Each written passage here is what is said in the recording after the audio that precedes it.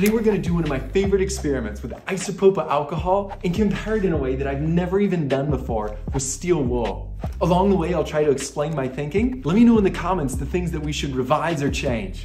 Let's get started. Let's get our experiment set up. Get a tray that you can fill with water. I'll use this dissection tray. Fill the tray with water, do lots of trials with water height, you'll notice some different results. Grab a small beaker or stand. I add a little water for stability. Then put a watch glass on it or some other non-flammable container. I'll be using 91% isopropyl, but you can experiment with 50 and 70% as well. The second experiment will use steel wool. Try to figure out the chemical and experimental differences between experiment 1 with the alcohol and experiment 2 with the steel wool. Let's get our 91%. Mmm, love that. Add a little, about half a mil, but not too much. Grab some matches or a lighter and light that baby up. What's going on now? The combustion equation of alcohol is two alcohols reacting with nine oxygens to produce six carbon dioxides and eight waters.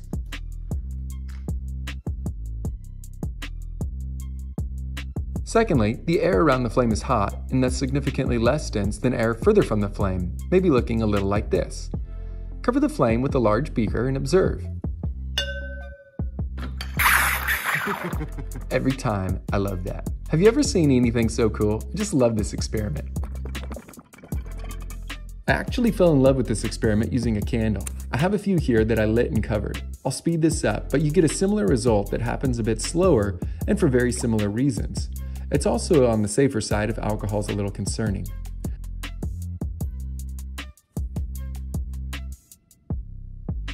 Did you notice any non-obvious clues about the alcohol in the candle? Let me know in the comments. So an initial explanation might look a little like this. We have the tray, beaker, and lens with isopropyl alcohol. Before lighting, the alcohol is on the left. After lighting, it's on the right.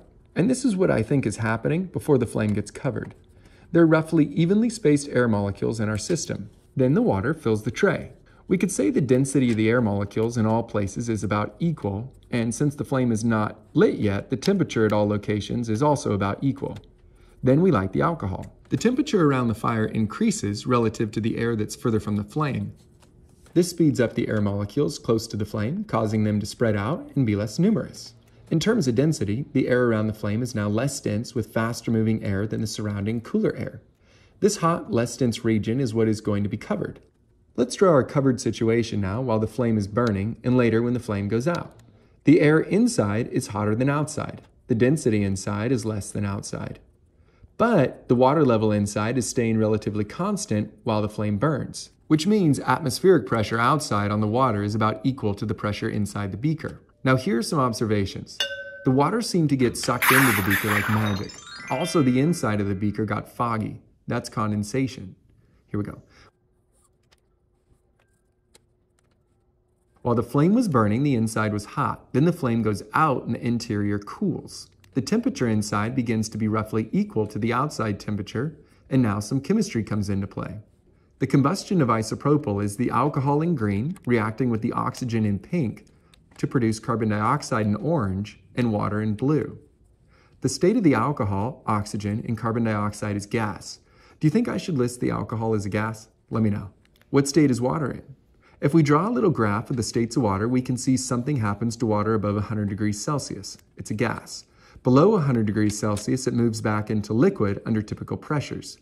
Coming out of the flame, the water is way over 100 degrees Celsius, so it starts out as a gas in our experiment.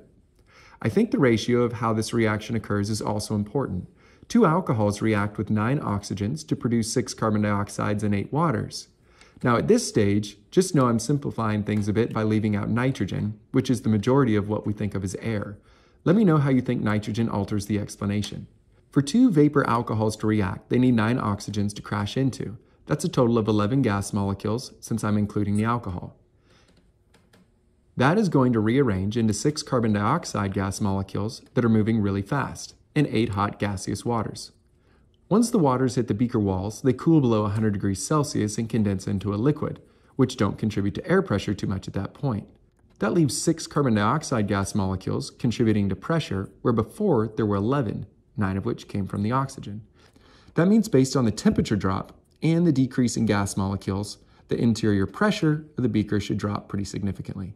To compensate for this decrease in pressure, the water was pushed in by the exterior atmospheric pressure, which in turn decreased the amount of air inside the beaker, which increased the interior pressure.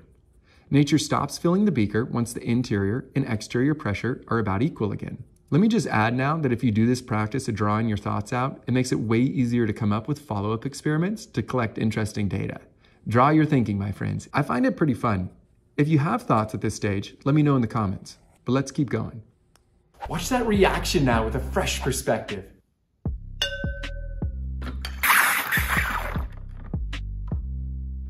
Now the steel wool, I've been excited to try since someone requested that in the comments a little while back. Let's fluff it out here. You can try different levels of fluffiness and see what kind of results you get.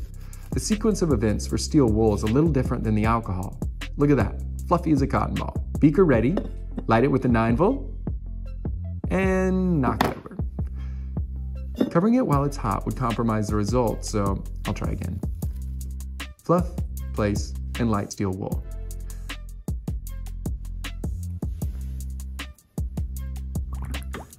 Look at the bubbles. We didn't see that before. What could cause that? Notice the glass? There's little to no condensation. See the steel wool? Not fully reacted. The part of the steel wool that is bluish is reacted, but that gray part is unreacted. See if we touch the unreacted, it'll still react. I still think this is one of the coolest looking reactions. With steel wool, I think it goes a little like this. Here's the air inside and outside, with about 21% of that being oxygen. Once again, I'll just focus on the oxygen. The steel wool is mainly iron, seen as Fe. Iron, Fe, reacts with the oxygen gas, the pink O2, to produce iron 3 oxide, Fe2O3, in blue.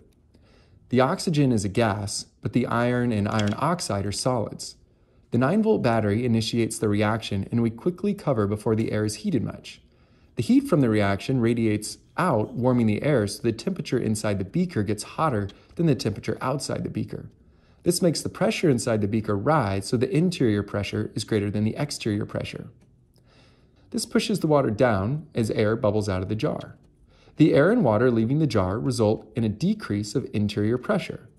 In this reaction, four irons react with three oxygen gases to produce two iron oxides. That's like these three oxygen reacting with these four irons to produce two iron oxides. I drew that happening one more time, but we can imagine it happening many, many more times. Now, a general principle of air pressure is only molecules in the gas phase contribute to air pressure. So let's put some pieces together. While the steel wool burns, the air leaves because it's hot, resulting in less air molecules. When the steel wool goes out, the temperature inside and outside the jar start to equalize, but the density of the air on the inside has decreased since air molecules left when hot. So the two reasons for air density decrease are temperature related, and number two, the oxygen left the gas phase, becoming a solid when they reacted with the iron, which also reduces the number of gas molecules inside and subsequently the air density. Less gas molecules at roughly even temperature means a pressure decrease on the surface of the water. Exterior pressure pushes water in, raising the water level in the beaker, which decreases the air volume and increases the pressure until air pressure inside and out are about equal again. So pressure was low, then raised when the water filled. Let's see that one more time now.